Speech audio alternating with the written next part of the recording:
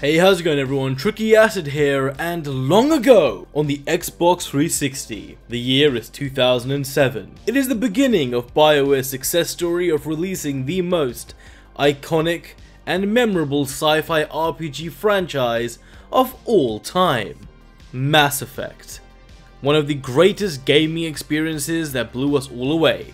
But this brings us to 2021, the future is now, and after multiple failures since Mass Effect 3, BioWare has once again risen from the grave to deliver the Mass Effect Legendary Edition.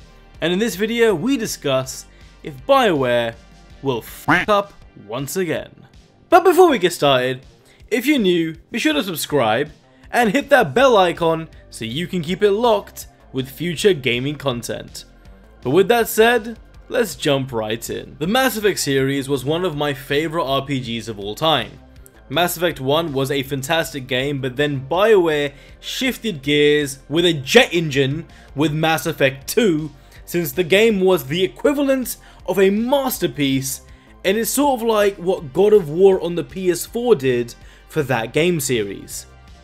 It took everything to a completely different level, and it was the key factor in making Mass Effect the iconic RPG it is today. Sadly, lightning didn't strike twice. Mass Effect 3 was still good, but just not on the same scale that ME2 delivered. But nonetheless, come May 2021, BioWare will be releasing the remastered edition of the original Mass Effect trilogy, and here are some of my thoughts. Try it and you'll be scanning the inside of your colon. I'd almost pay to see that, but it's not an option. You want to talk? you get scanned. All you had to do was ask. I don't ask. Firstly, the game will be sticking with the Unreal Engine 3, the same engine that was used across the lifespan of the Xbox 360 and PS3. BioWare decided it's best to stick with the original engine because from a design perspective, transitioning to Unreal Engine 4 would have led to recreating a lot of assets, and it would have turned the title into more of a remake than a remaster, and in BioWare's credit, that was the idea all along, that they were not going for a remake, this is a full-on remaster. And they're clearly trying to get the very best out of a 15-year-old engine with this remaster, especially with the game now running at 4K and locked at 60 frames. Although this does take me to my next point. The Legendary Edition will not have a PS5 or Xbox Series X edition.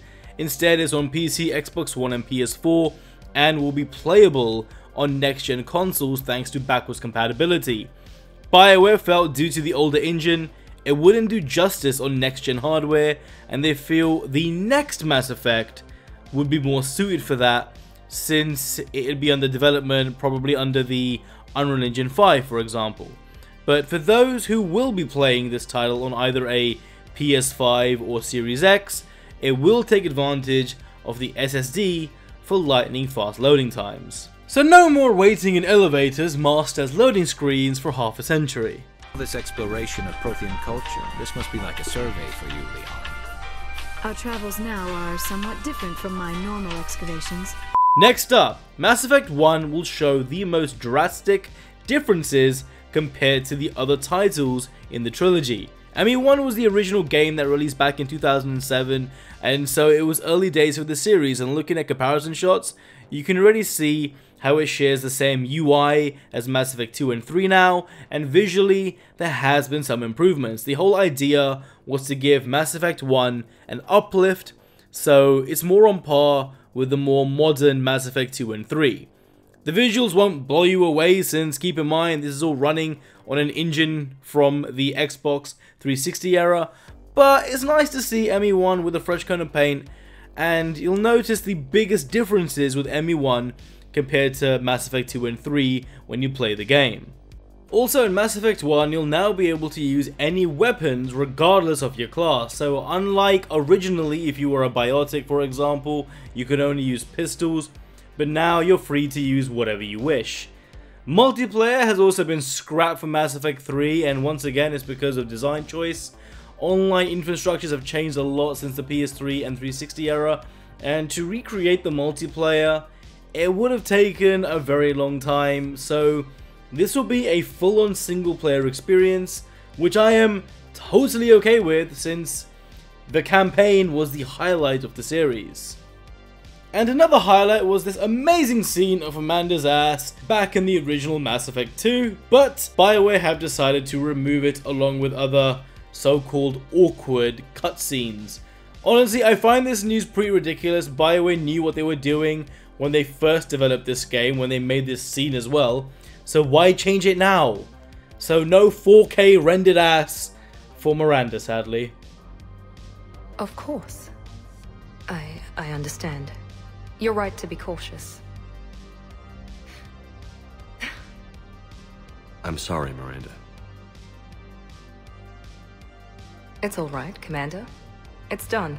But overall, it does make me feel that BioWare are really trying to play it safe and not up with the Legendary Edition. Besides a bunch of changes, they really don't want to cross any line of changing things up too much. So I don't think BioWare could in any way screw this up. Actually, you know what? Now I get it. Now I get it. To render Miranda's ass at 4K, maybe the engine just isn't capable of doing it. Now I understand. Okay, that's fine. Anyway, I think it would be cool to revisit Mass Effect 1, especially just to witness the major differences, but that sums up my thoughts on the Mass Effect Legendary Edition. I will be getting it since I love Mass Effect, and to relive it on the PS5 I think it would be awesome. But if you enjoyed the video, don't forget to leave a like as it really helps me out and also subscribe, hit that bell icon so you don't miss out on future content and I'll catch you all next time. you